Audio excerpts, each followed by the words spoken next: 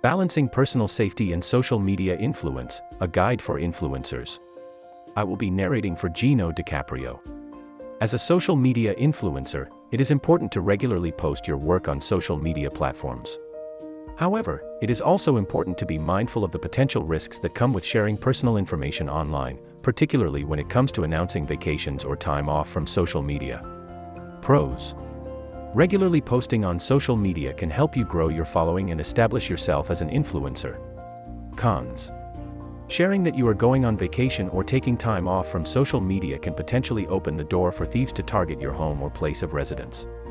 Conclusion to protect yourself and your family, it is best to keep your travel plans and time off from social media private. If you do need to post about a trip while you are away, it is safer to wait until you return home to share the information.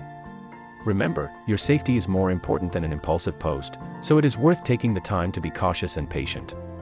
You're part of the 1% of viewers who made it to the end of this video, well done. If you found the information valuable, please consider sharing it with your friends and following our content for more. Your support is greatly appreciated, and we encourage you to keep participating if you'd like to continue learning.